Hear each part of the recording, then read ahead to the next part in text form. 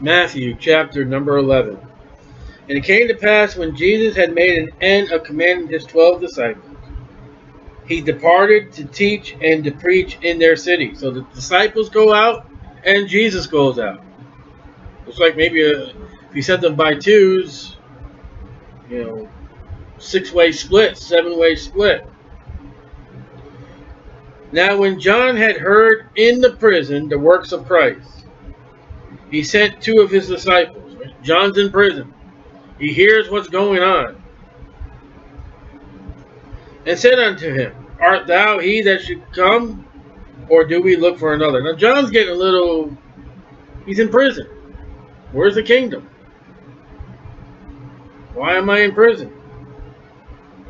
He says, You the one? And he's going to say John the Baptist is one of the greatest men ever, and he had doubts. He had concerns. We're human. We're not God. Yeah. Jesus answered and said unto them, Go and show John again those things which you do hear and see. The blind receive their sight. So, what you see, currently what's going on for these disciples of John, bring it back to John. Tell them, the lame walk. The lepers are cleansed. The deaf hear. The dead are raised up. The poor had the gospel preached to. That's a busy afternoon, isn't it?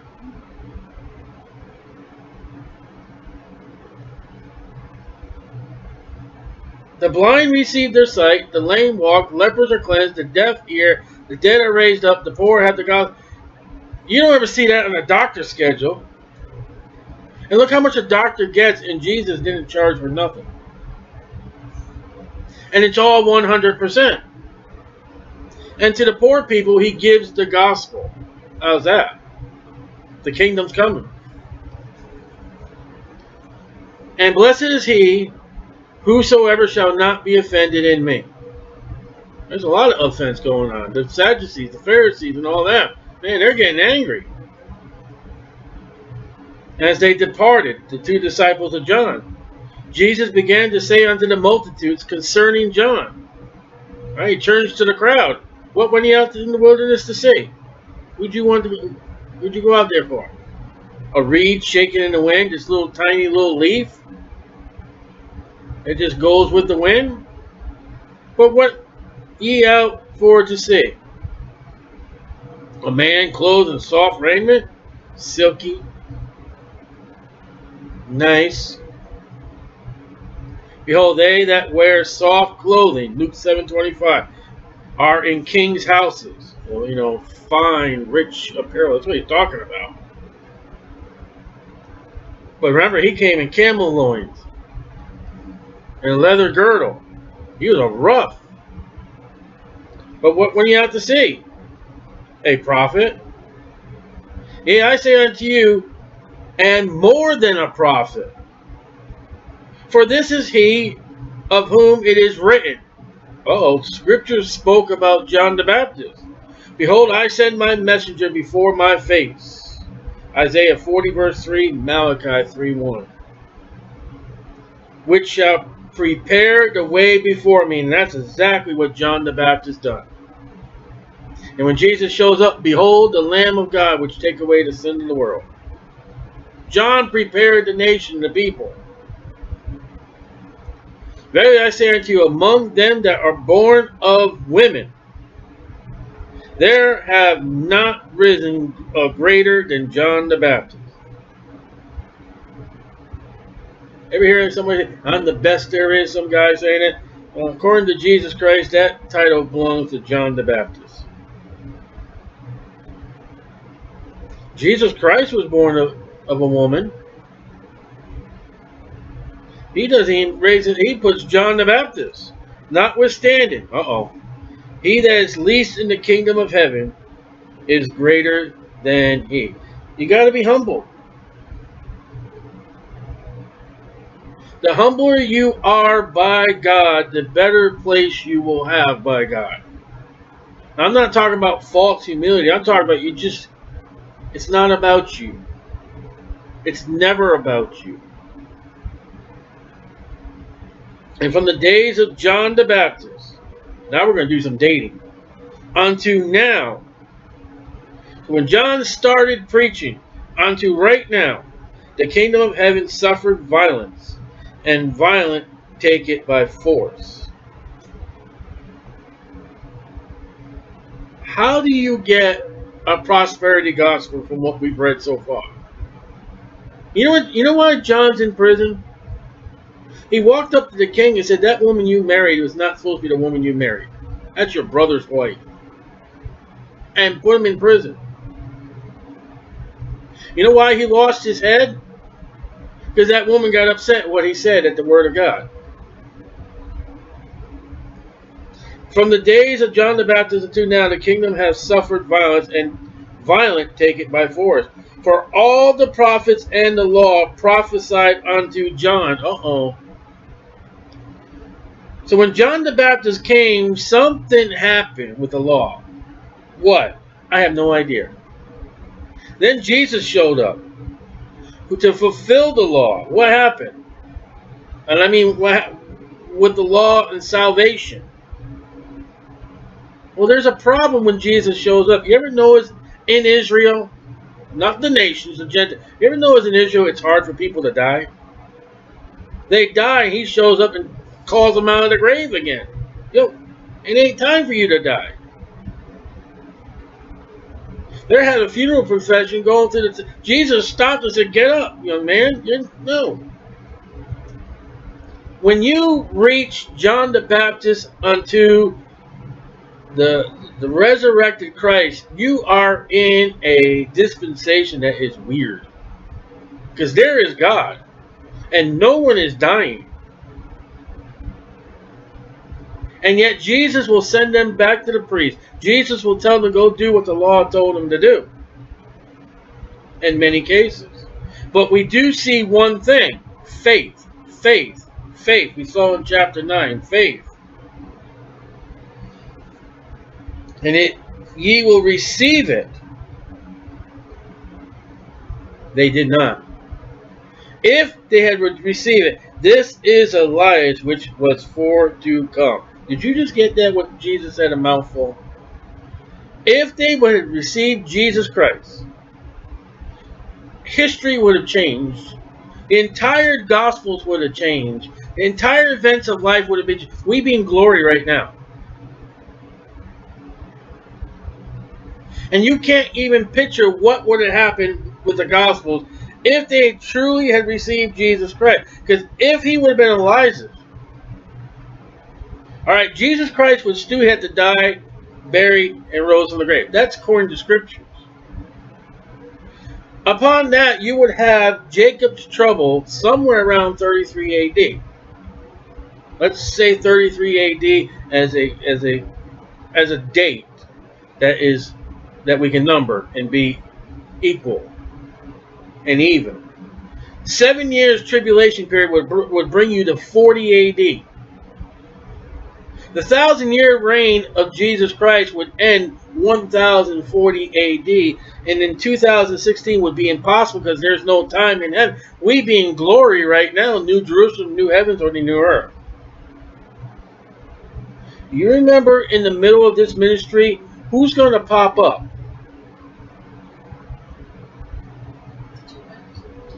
Moses and Elijah pop up, don't they? Now, don't you think that would have been kind of weird if if the nation had received them? There's Moses and Elijah as prophesied in Malachi. But they didn't receive him. So Jesus checks with them. Everything's been fulfilled to the point. I go to the cross and die. And what we learn in chapter 10 is when you guys go out in the book of Acts, you're going to be persecuted. You're going to be whipped. You're going to be killed. All the apostles except one died a valiant death. And I forgot to mention another thing too. you know of why there was there was a persecutions in the book of Acts? Jesus told them in, in Acts chapter 1, Jerusalem, Judea, and the outer parts of the world. You know what they were doing in the book of Acts early? They were staying in Jerusalem. Jesus had to send little persecution to get their butts moving. See, persecution makes the church grow. Check it out in the book of Acts. And there was added to the church, and the numbers, you check those times out, they were persecuted. Why is the church not getting numbers today in America? Why are there not revivals in America? Because we're not being persecuted. And they'll say, oh, you can't bring your Bible to school, you can't pray. That's not persecution. There are nations right now, they're being persecuted under the Catholics, they're being persecuted under Islam, and I bet you the Word of God is growing. So, John the Baptist would have been Elijah, according to Jesus. John the Baptist and Elijah, compare them to. Sometimes you just want something to do. Compare who they are, what they are, and what they said, and their character. He that hath ears to hear, let him hear. Now, 13.9, 13.43, Mark 4.9, 4.23, 7.16, Luke 8.8, 14.35, and I believe to the seven churches in Revelation, you have that, him that has ears to hear, let him hear. You know what that means? Shut up and listen. He just warned Israel. If you were to believe who I am, Jacob's trouble is going to come, the millennium is going to come, and boom. There would be no church age. All Old Testament prophecies, all of them, would have been fulfilled within this time. But I think the words were, "We have no king but Caesar." You know how many years that that that big mouth spoke? Take at least 30 years minus 2016. That's how many years it's been to we have no king but Caesar. Okay, you don't want Jesus Christ? Remember what Jesus said? Uh, you killed our pigs. Get out of here. Okay, boys, let's get back in the boat. Come on. You want Caesar? Okay, I'll go to the cross. Paul, he put up with the Jews. He put up with the Jews. He put up with the Israelites. He tried. He prayed. He cried. He... I've had enough with you guys. I am clean of the blood of my fingers. I'm going to the Gentiles.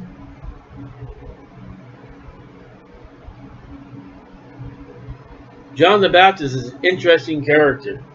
Elijah is Elijah just showed up one day, and you know who Elijah rebuked? King Ahab. You know what King Ahab had? He had a wicked wife. Check the check out again on your own study. Something interesting. Get yourself a concordance, get yourself a, computer, something. Look up John the Baptist and look up Elijah. It's a wonderful study. But whereunto shall I liken this generation? He's talking to the multitudes again. The disciples are gone. It is like unto children sitting in the markets. Not that they had open markets. You've seen pictures of them. And calling unto their fellows, calling all their buddies and all that. And saying, We have piped unto you to play the pipes. Played musical instruments. You have not danced. We have mourned unto you. Sorrow, tears, crying. You have not lamented. You, you're not reacting to what we're doing. We don't get up and start dancing to the bongo man. We just continue to preach the gospel. Well, why aren't you enjoying his music? Why don't you, when you when we have a band, why don't you guys get up and start getting naked and, and start dancing? Why don't you do that? We got beer over here. Why don't you come over here and grab a cup and start drinking? For John came neither eating nor drinking. Good, clean guy. Just give him some locusts. He was happy. Dip him in some honey. And they said, He hath a devil. Really?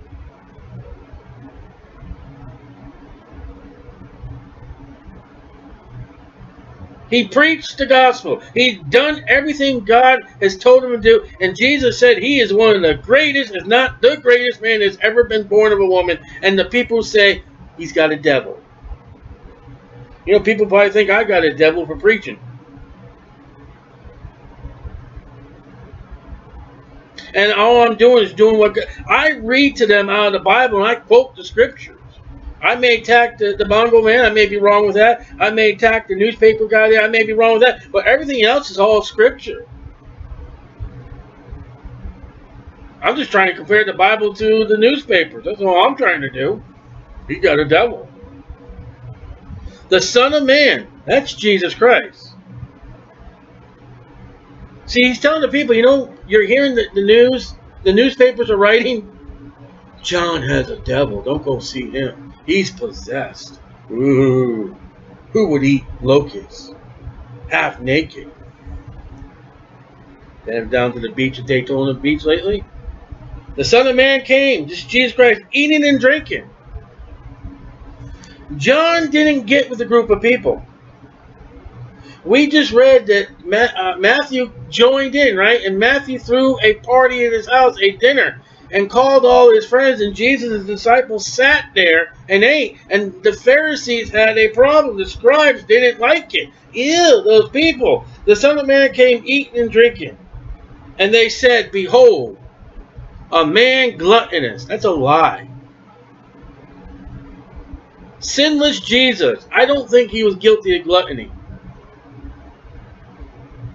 Excessive eating. That's what gluttonous means. A wine bibbler. That's a great drinker. You think that was Jesus? You know you shut people. Didn't Jesus make the water into wine? Yeah, but show me where he drank it. Uh-uh. They are saying Jesus is a gross eater. He's gross in drinking and a friend of publicans and sinners. Well, go back to, to chapter number 10. Was it 10? You called me, was it 9? I think it's 9. Chapter 9, verse 10. And it came to pass, Jesus said to me in the house, Behold, many publicans and sinners came and sat down with him and his disciples. And when the Pharisees saw it, they said unto his, his disciples, Why eateth your master with publicans and sinners? And Jesus goes on. Well, who's got the problem? The Pharisees. A friend of publicans and sinners. That's just what we just read. When he was seated at Matthew's house with Matthew's friends. But wisdom is justified of her children. There you go. John and Jesus were wise. These other people are not wise. They don't recognize who John is. They don't recognize who Jesus Christ is. The fool has said in his heart, there is no God. Take wis wisdom in this, what it said right here, and foolish. Study the entire book of Proverbs on wisdom and foolish. Then began he, Jesus. What would Jesus do? Upbraid means to charge, to reproach. To upbraid the cities wherein most of his mighty works were done. This is where he's doing all his works. Because they repented not. He goes in there, he's healing all these people, he's raising the dead, he's preaching and not responding. Like Daytona Beach Farmers Market. And I tried to tell him, just because, you know, I'm there with the, with the Bible, you're without excuse. Woe. This is the first woe in Matthew. Pay attention to woes in the Bible. Chorazin. So Jesus visited a city called Chorazin. Woe unto thee, Bethsaida. I got a whole book about that city. For the mighty works, verse number 5, the mighty works were done in you had been done in Tyre or Sidon. Tyre is destroyed. It's gone. Sidon's gone. They would have repented long ago in sackcloth and ashes. Listen, what I'm doing to your cities right now, if it had been done in Tyre, those cities would have got right and would have repented. Think of Nineveh.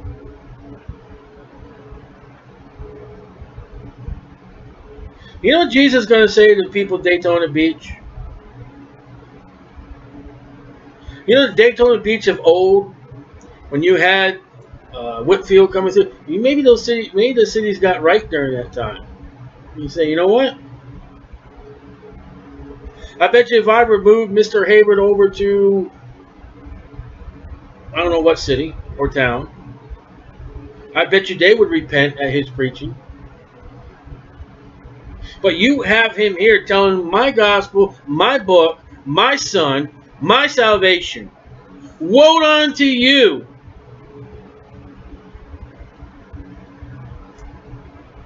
Because you have not repented. You realize when we preach the gospel, we're putting a big woe on those people?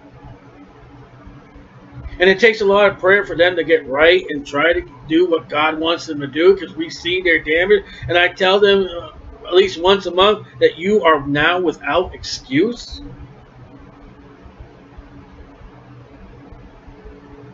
When you tell somebody, think about the one person in your life. I don't just think of one person you told them about the gospel. And that person never gets saved.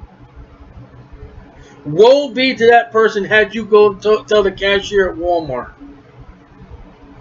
If you were able to open your mouth at that cashier, but the line was so big, that cashier may have got saved listening to you. But woe to your friend, your family, your co-worker, your boss, whoever it was that you told the gospel. Woe be to that person.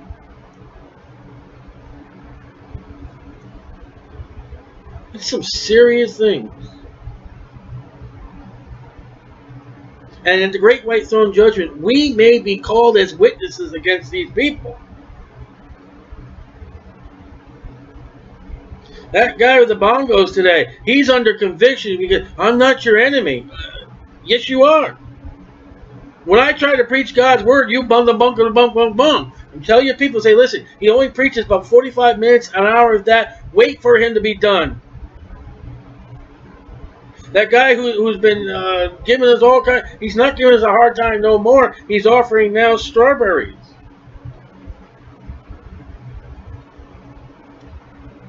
But I say unto you, it shall be more terrible and Tyre and Sidon at the day of judgment, great white throne judgment, than for you. You know why Tyre and Sidon is not going to get such a big on judgment day? Because Jesus Christ was not in their city. America will be judged far more worse than Sierra Leone. I don't think Sierra Leone has stores where you can buy Bibles in their language. They got you got to rely on a small group of missionaries over there who've got to drive bumpy, quadruply mountains roads that takes days and nights and years to get to these people. Most of them are illiterate. That's why they use the teacher Bible. Most of them are illiterate. They don't have the education. America, you pick up www.bible.com or whatever it is. There it is. We still got libraries. You can go and pull a Bible out and go sit down and quiet and read it. Woe to America. And thou, Capernaum, another place where Jesus visited, which are exalted unto heaven. Babel. This is a great city. It's built. Skyscrapers, maybe. It's praise and honor. We're number one. We're exalted. Yay! Shall be brought down to. I can't say that. People say Jesus never said that word.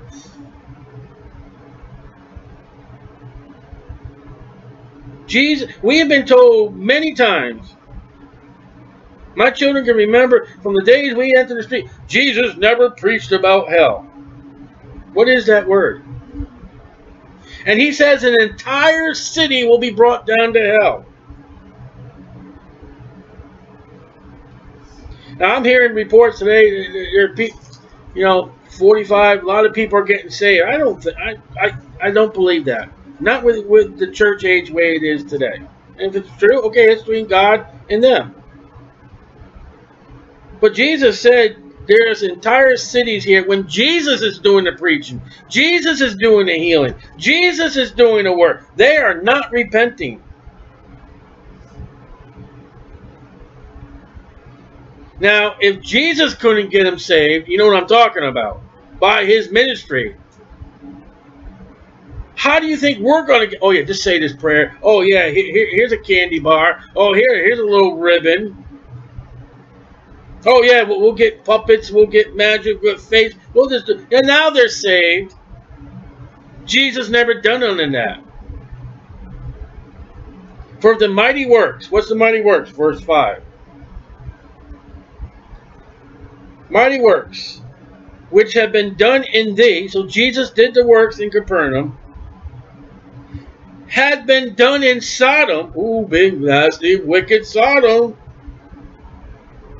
That's the hell on earth for Christians today in the Bible. Sodom. The wicked Sodom.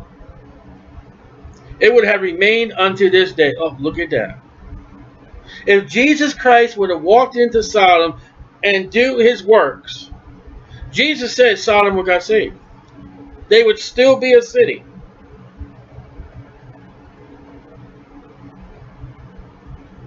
I think Jesus knows what he's talking about.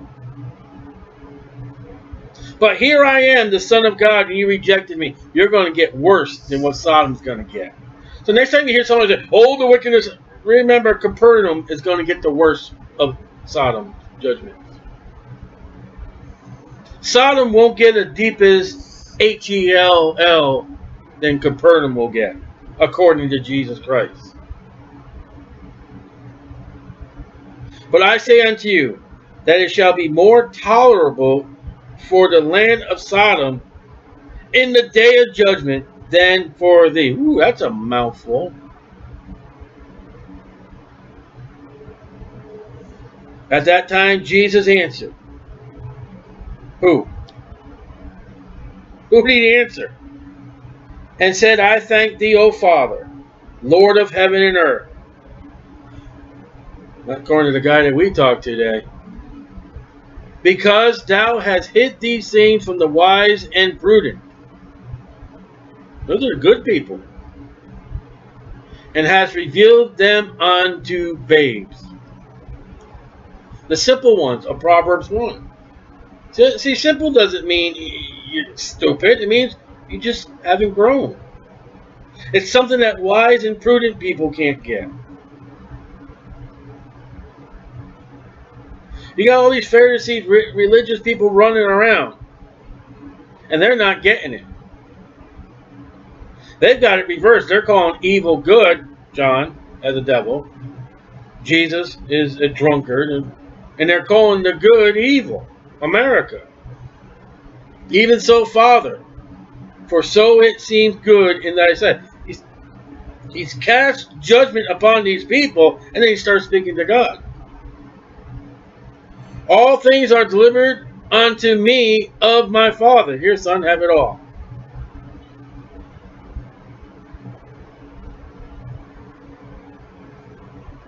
Satan tried to offer him that. Did you get that? Matthew 4? Forget it, Satan. You wait to see what my Father's going to give me. You know, everything you offer me right now, Satan, is going to crumple up. It's going to burn with a fervent heat. And God is going to make it all new. And then he's going to give me that. Okay? I'm going to get some land. I'm going to get a universe. I'm going to get all that you have not even stepped on. Job 1 and 2. Satan went amongst the earth, up and down the earth.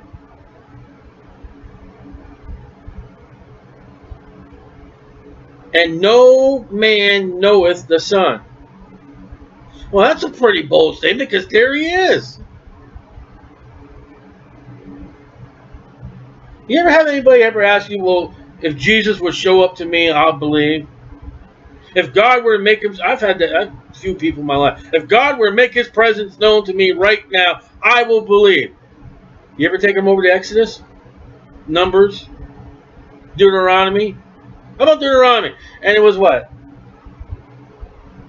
17 days to to the city, I think it was. But it, in the 40th year, 40 years they had to take to get in the promised land, and they saw God, and God fed them, and God gave them water, and God blessed them. God was a fire by night, and a pillar by cloud by day. God protected them, and they still didn't believe. Jesus Christ is walking, talking, and doing miracles, verse number 5, and they still don't know who he is. And he's been doing works in one, two, three cities, and they still will not repent at his teaching. So you're going to walk in a Baptist church, and we got 5,000 people saved this week. Really? Jesus didn't even get those numbers.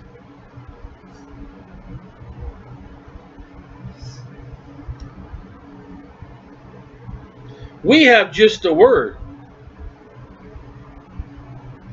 But the Father, neither knows any man the Father save the Son, and he to whomsoever the Son will reveal him. You know, you cannot know Jesus Christ and God unless the Holy Spirit has drawn you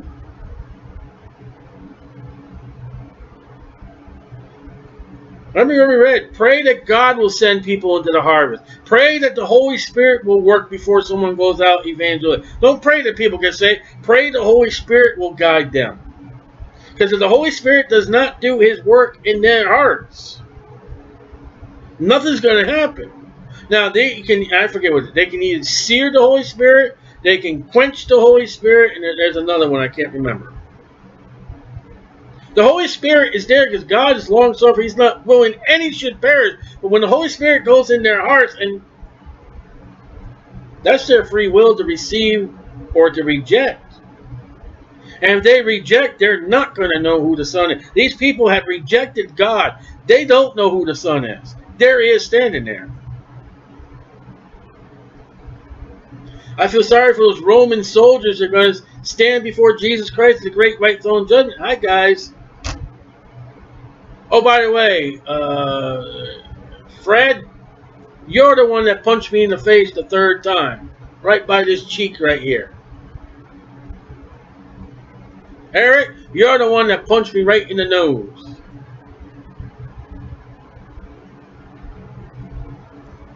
Remember they remember they blindfolded him and said, "Who hit you?"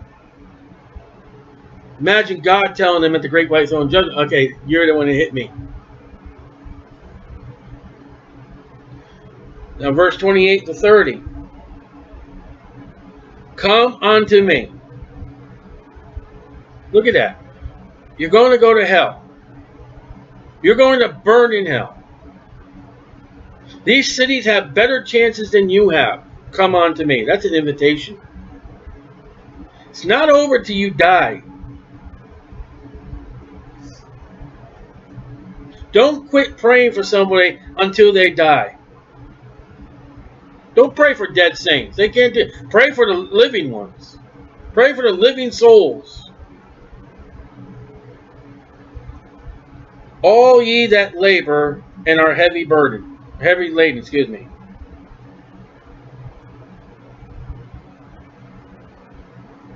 Burdened down. The Pharisees are putting such a religious load on these people.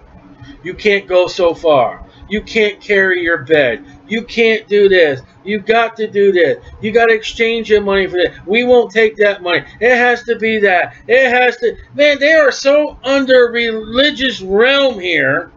Do I burn a candle or do I put a quarter in the box? Do I say four Hail Marys? Do I say, what do I do? And Jesus says to all that religion, Come unto me.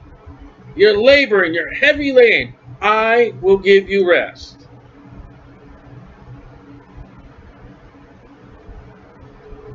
There is rest in Jesus, not religion. Take my yoke upon you. Now that doesn't a yoke doesn't sound like you know. Wait a minute. I'm heavy laden and laboring. You're going to give me now. You tell me put a yoke on me?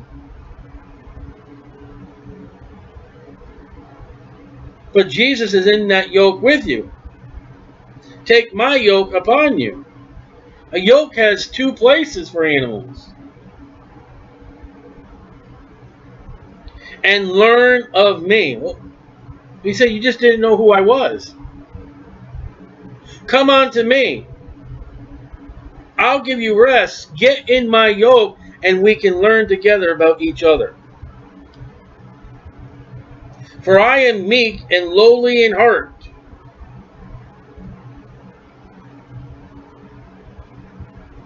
And ye shall find rest unto unto your soul. Man, you may have to do labor. You may get persecuted. Remember we read in chapter 10? You may have to die. You may have to carry your cross. But your soul will rest assured in Jesus Christ. For my yoke is easy. That's almost an oxymoron. Yoke, easy. But if you get in the yoke with Jesus Christ, who has to undo that yoke to get you out? You can't. You're incapable of getting yourself out. And my burden is light. As Christians, the, the church age, we're told just go, you know, all the world and preach the gospel. And then when somebody gets saved, train them up, raise them up as baby. How hard is that? I mean, it's a lot easier than raising a real infant, baby, child. I mean, you don't have to change their diapers or anything, do you? You just take the Bible with them, show them what the Bible says, help them grow, teach them how to go out and get others. That's not very hard. But when you go out witnessing evangelism, whatever God has called you to do, you better be in that yoke with Jesus and, and not by yourself.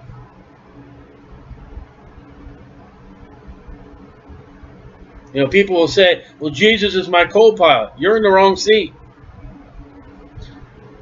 Undo your seatbelts, stand up, tell Jesus to sit in, in the pilot seat. You sit down in the co-pilot seat, put the seatbelt on, let him let him fly the airplane. Because if you are the pilot, you're the one that's in charge, and Jesus will sit there and just let you do it till you crash the plane. But if you put Jesus in charge and put Jesus in the yoke, that row that you will produce in the field will be straight, it will be narrow, and it will get you right where you're supposed to be going. You know what happens when you take a yoke and you're looking around, you're not paying attention. When you look at that roll that you've done, it'll be be crooked. Won't be uneven. It won't be right. It's more work doing crooked for the animal. Jesus is the straight and narrow. Jesus is the lighter. Jesus is the leader. But he needs your help.